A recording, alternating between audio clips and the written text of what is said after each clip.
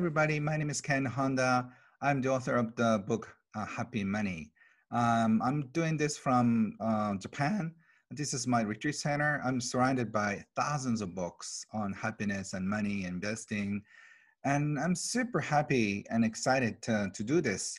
Uh, I think we're supposed to be somewhere in Amsterdam or Europe, but uh, this could be more fun because I can get to do this with my family and also uh, do this from my studio. And I don't know wherever you are, but um, um, you can probably relax in your home. Some of you stay up late, some of you are early in the morning, but I'm so excited to share about uh, money EQ, which I'm going to talk about for the next hour. I usually do this um, uh, two or three day um, worth of seminar. I'm, I'm pushing everything to uh, one hour. So I'm going to do it, speak a little faster than um, regularly, but I just want to um, share all the information I have on Money EQ. So I'm going to divide this um, presentation into two parts. One is I'm going to talk about uh, Money IQ, Money EQ, which I have learned so much from my father and from my uh, mentors. And I'm going to take uh, 10 minute, uh, 10 minute of uh, Q&A. And also the second part, I'm going to share about how to heal your money trauma, how to overcome it, and also take a look at the money beliefs uh, that you have, both positive and negative. And also, um, um, using the last few minutes, I'm going to share with you my great mentor Wahei Takeda's arigato or appreciation approach with money. Money EQ, I don't know uh, how many of you have uh, taken my courses and uh, or even take a look at my book uh, because my book was everywhere. It was a yellow smiley mark and uh, it was all the airport, uh, major airport in North America and Europe. So, and um, in this community, a lot of people have been generous enough to talk about money EQ. So this is what I'm going to talk about. So I have done um, a lot of studies with money. My father is a very successful accountant and since I was uh, five or six, he took me to shopping malls and taught everything about money. And after doing a lot of research, um, I realized that there are only three relationships with money. Um, money controls you, or you control money, or a balanced friendship. Uh, in other words, you can be a master or slave or um, friend and uh, ideal situation is um, you become friend with money because uh, your best friend um, cares about you and best friend thinks with you and best uh, your best friend uh, works with you. So if your relationship uh, with money becomes that, I think you'll be uh, much, much happier. But unfortunately, most of us are having a lot of struggle. We have so much fear. So um, I just um, going to solve the mystery why. And I have done many money counseling in my life, and I realized that there are so many people um, who struggle with money, and some of some people have so much money, but yet they they struggle internally, and I wonder why is that. And then this is um, the discovery I made. Um, depending on uh, the relationship you have with money, you have different money personality. For example, you become compulsive spender and you become compulsive saver. Uh, you, um, this means you, you, spend, spend, spend, or you just save, save, save. Or compul compulsive earner, you're so addicted to making money. So these guys are talking about uh, the business models and, okay, I got another business ideas, uh, everything about accumulating wealth. And another one, passive money personality type, is indifferent. Uh, they're the monks. They don't even think about money. And uh, hippie type, they're um, afraid of money, so they try to be away from money. And um, combination money personality type is repressed spender. They uh, usually save, save, save, save, but few months of saving and you go like i'm tired tired of that and then you spend it all. Or gambler. I'm sure some of your friends are this way or maybe you are this way. Um, you get to gamble with money. You enjoy the excitement. And also warrior. My mother was like this. You constantly worry about money. This is another personality type. And i'm sure you can see a family member um, in um, in all these types. It could be your partner, it could be your brothers and sisters. And uh, what's interesting is that uh, we are born and brought up in the same household, but your brothers and sisters could be a, a completely different type. And even you have, for example, as a parent, you have uh, a couple kids or three children, um, you you taught them the same stuff, but um, your kids um, turn out to be very different. And uh, I'm just talking about why in my books. But um, we became that way because of the way we deal with emotions around money. And um, a lot of people think, and a lot of uh, money experts are talking about how to deal with money uh, financially, but they often ignore uh, the fact um, that there is a big relation uh, between emotions and also money. And your behaviors are so affected by the emotions you have around money. So I'm going to share with you five emotional blocks. Anxiety, you know, most of us are familiar. We are all afraid, especially what's happening in this world. Anxiety is probably the number one uh, thing. You know, I, I do this podcast called Dear Ken. Um, um, last week we've hit about 45 million downloads. It's in Japanese.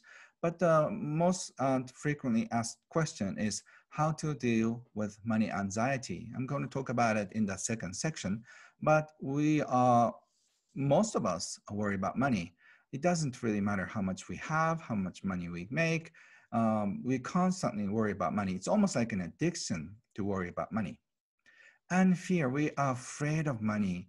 Money could be a monster in your house. So, as much as we love money to be in our house, we want to keep money away because we are afraid. And we doubt money. Uh, money gives you a lot of doubts about you, uh, doubts about what you're going to do. And guilt. Uh, wealthy people often feel guilt around money because uh, they feel guilty that they're comfortable. And also self neglect.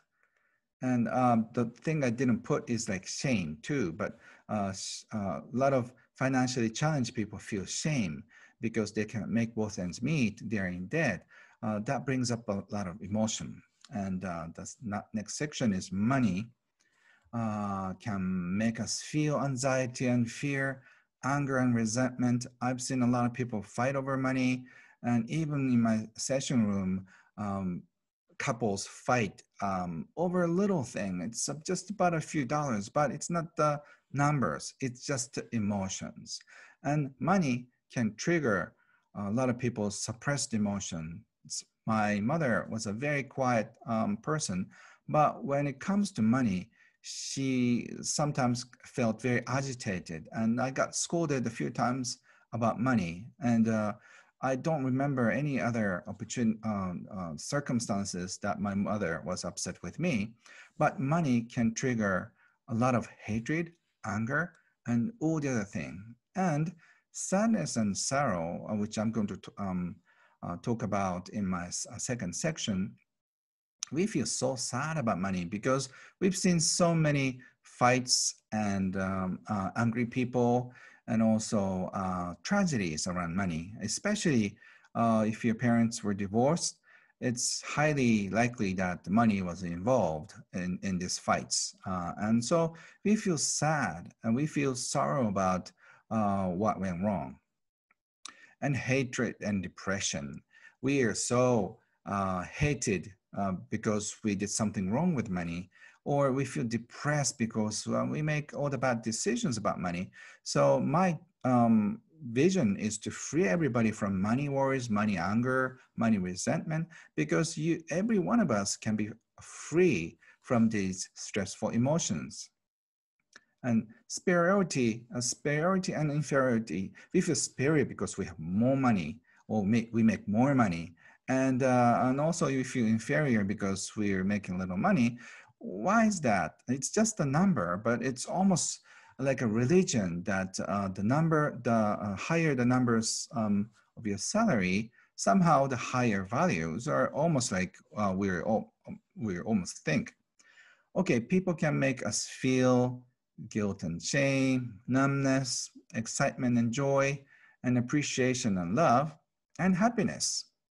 And money IQ principles, I go very quickly, earning and making money, and spending and using money, protecting and saving money, increasing and investing money. Money EQ principles is uh, how to receive. Uh, that is a number one. Um, if you can receive money well, you get to now enjoy money and feel abundant and ability to trust the flow because uh, in ideal situation, money flows like water. You don't even notice. And uh, number four is share money well. I'm going to talk about my mentor Wahei Takeda, who's called Warren Buffett of Japan in my second section. And how to uh, grow beyond your money is don't save money out of anxiety. Understand you lose money before attracting money. Um, and, and likable people attract money naturally. So uh, the, the key to abundance is to accept who you are and like uh, about yourself more. And eventually, hopefully, if you love yourself more, uh, that grows uh, your money container. So you can be happier and receive better. Four, price your services appropriately and express appreciation at every opportunity. And understand self doubt is part of the game because in the process of receiving abundance, we wonder, is this the right path? Um, am I doing the right thing? And try to always see the positive side. And also believe strongly in a vision. If you have a vision, you're likely to uh, receive more money, more support, and overcome your emotions about money and share experiences with others, which I'm going to do um, help you in the second section and be open to receiving love and support. We are so good at giving, but we are so bad at receiving. And Money EQ teaches you to receive first. Okay, so the second half is I'm going to talk about money beliefs, a negative one first, because um, after doing the positive, you just feel um, neutral. So uh, negative beliefs we have about money is, for example, money is bad. I'm sure at uh, one point in your life, your parents or your friends or a teacher or your minister or somebody said money was bad. And money disappears fast. That is, uh, I often hear from um, young people. Ken, I don't know why money disappears so fast. You know, when um, when I thought uh, it came yesterday and then it's gone the, the day after. So uh, a lot of people feel this way. Um, and also money hurts people if you have money, it could be potentially dangerous because um, look at uh, wealthy people, you know, uh, their kids may be um, uh, abducted or if you have money, people could be jealous to you. Money is scary. I'm sure a lot of people have this because I would ask uh, my clients this question often. Uh, if money was a person, who would that be? Would that be a scary person? would that be a fun person to be with? Um, if you have um, this negative belief about money, that money is scary, you don't want the person to stay in your house. Number five, money creates trouble. A lot of us are falling into these negative beliefs, so that's why we try to stay away from money. And the positive one is money supports people. Like I said, in this uh, terrible um, circumstances, a lot of people are helping one another. And uh, just look at the numbers, uh, how many millions of uh, people are supported by government uh, payment, a paycheck. And uh, so money can support people. We tend to forget, but money can help people. Money makes people happy. I've seen a lot of people um, smile when they receive money, especially unexpected one. So I have this fun habit of carrying envelopes full of cash. And uh, when somebody is in financial problem, uh, in trouble, I give out the envelopes um, depending on their situation. Sometimes I give a $100 uh, dollar bill and sometimes uh, 10,000, sometimes a thousand, sometimes $50, sometimes $10. And um, it doesn't really matter uh, how much I give them they're just so, some of them go into tears uh, because money makes people very happy. Money helps realize dreams. If you have more money, what would you like to do? Uh, do you want to open your own store? Do you want to follow your heart and just live overseas? Or do you want to write a book? Um, whatever that is, money can help you realize your dreams. And money uh, brings com uh, communities together. This is a great part because if you have uh, enough money, uh, a lot of people can um, be closer, they can um, eat together, and they can have so much fun together. So uh, I, I, understand you can picture that um, money can bring people together. And money warms people's hearts. I've seen it all the time. Um, uh, about um, a, a, year ago, in my seminar, I invited uh, my uh, close friend Barnett Bain, who's a movie director, and who was in, um, who whose house was just burned down by fire. And um, I wanted him to talk about the fire and all the uh, people who suffered from the fire in Malibu. And a lot of Japanese uh, students um, at, the, at my seminar felt so touched and they wanted to do something. So they started raising um, money uh, for Barnett and uh, his wife and also um, his friends and community in Malibu. And uh, we, uh, we have this tradition when somebody's in, in a tough time, we raise uh, cash and then give it to the person. So we've uh, raised enough cash and just pass it over to him. And he went over and just started um, um, distributing uh, money in the envelopes we gave. And uh, a lot of people cried because they didn't expect money. You know, they didn't get anything from the government at the time, but uh, the money comes from Japan, from uh, perfect uh, strangers. And then uh, the story wa was on the newspaper, and a lot of people really enjoy reading it because it warms people's hearts. And the fact that we didn't think of much about giving and sharing what we have, but we are so surprised and uh, we feel happy that it helped American people feel warm in the time of the crisis. And also, I'm going to focus on healing money trauma because in the biggest part of uh, money EQ, identifying um, money trauma is important. For example, I was denied a homestay uh, program when I was uh, 16 uh, to LA or uh, Australia. My father uh, had a drinking problem. So I, uh, even though I knew he had the money, he didn't want to spend money. And I wanted to bring, bring the topic up on the table, but I couldn't do that because my mother said, uh, when your father is feeling good, you can bring it up. In my house, that means never. So I was denied this opportunity, my dream of learning English in LA or uh, Perth in uh, Sydney in Australia. And I still feel the pain because I was carrying the brochure in my bag and it was torn torn apart uh, uh, because I was carrying it every um, every day, and then I was looking at the brochure of the homestay program. But because of the this money trauma, I sometimes feel uh, um, pain when I try to start something uh, new, and I feel the uh, uh, my body is tense and I feel like uh, my dreams will, will not probably realize because I'm not good enough. And I'm sure you denied many things uh, when you're small, uh, maybe denied soccer lesson, piano lessons, or uh, uh, summer camps, whatever that is. And just face and confront your past. What happened? And then recall both happy, unpleasant, and also unpleasant memories about money from a childhood and youth and identify current financial situation. You know, you if you have uh, some kind of money trauma, that stops you from having more money, receiving more money, uh, because money could hurt you. So I don't want money because it, it, you know, I don't have a good experience with it. And clarify your family's money history.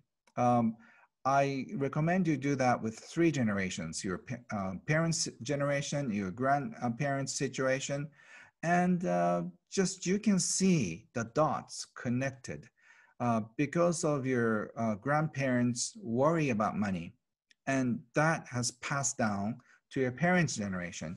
And the money worries and fear around uh, this uh, issue gets uh, passed down to you.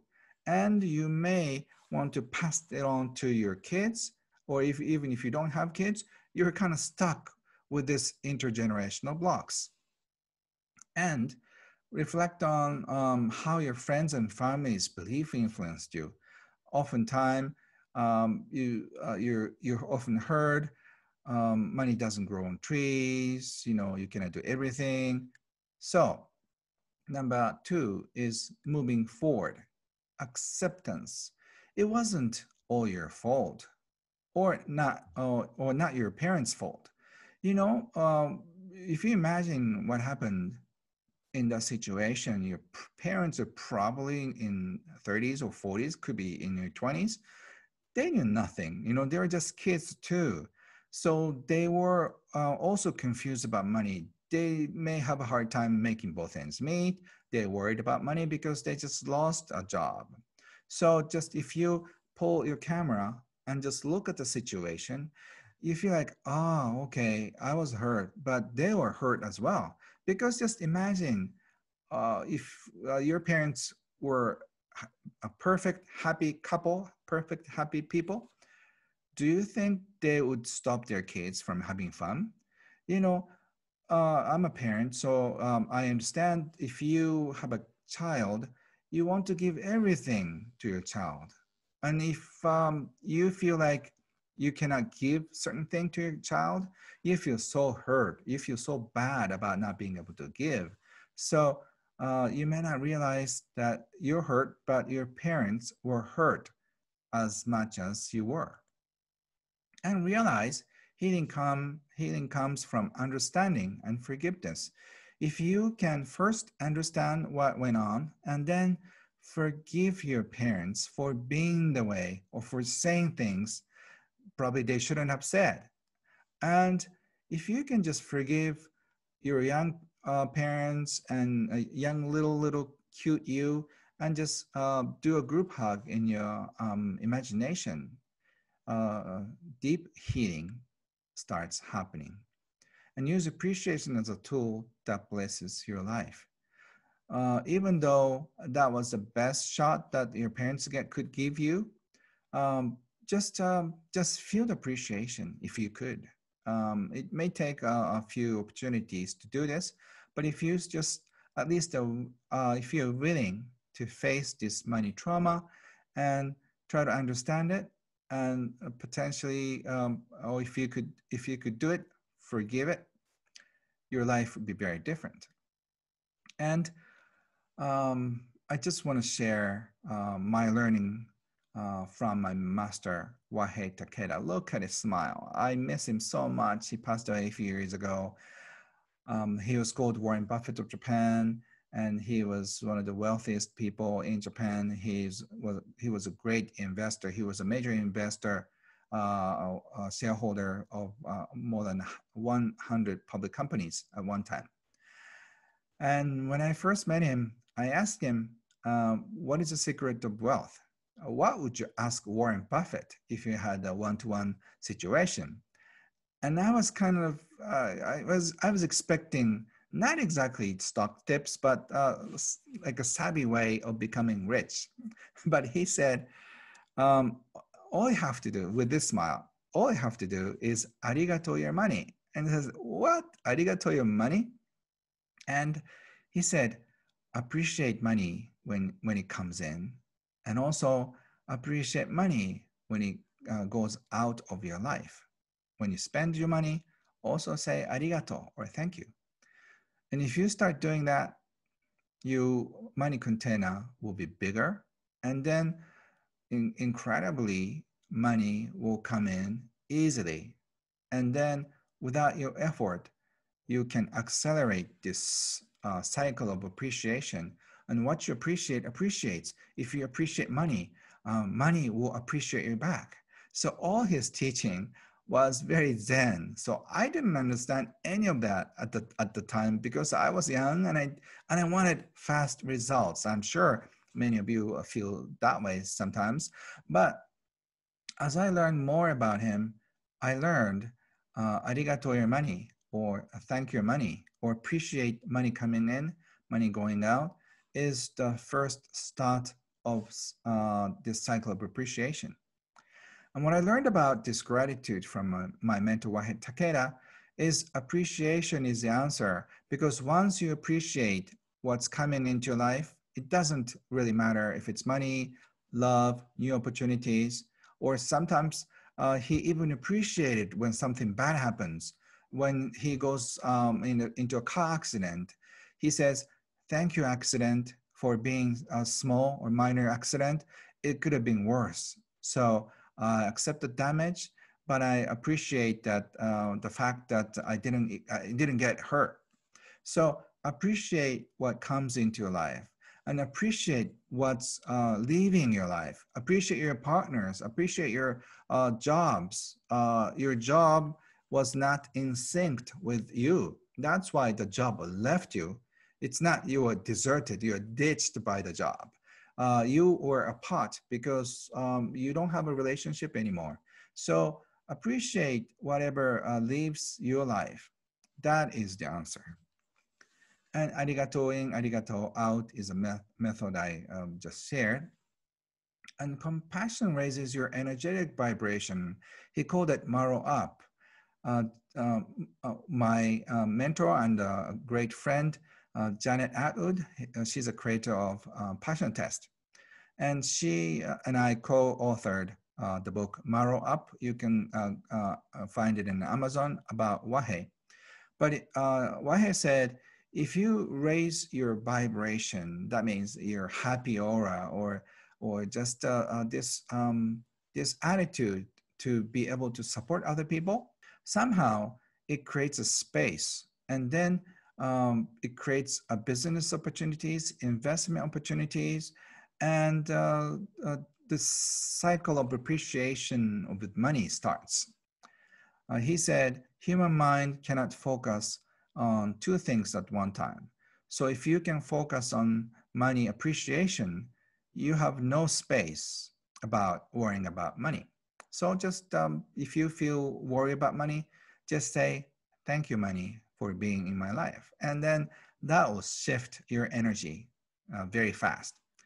Okay, so um, before taking questions, I like to um, share this, how to create a positive flow of money energy um, I don't know how much you have, how much money you make, but uh, um, when it comes to happiness, the flow of energy and what kinds of energy flowing in your life matters. Um, just imagine billionaires and millionaires who have so much money, um, but if they have uh, no capacity to appreciate money coming in, money going out, people around him or her that person could be feeling very miserable.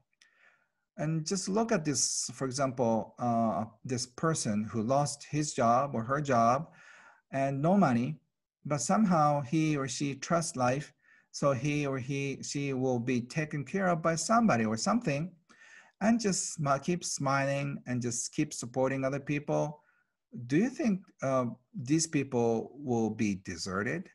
I'm sure they will be supported by somebody because they have this uh, such a loving energy you know nobody um, wants to um, keep him in a ditch so if you can create this positive flow of money energy uh, you don't have to worry about money so uh, the reason why I don't have to uh, worry about money is that I feel like I'm I'm I'm well taken care of uh, to begin with.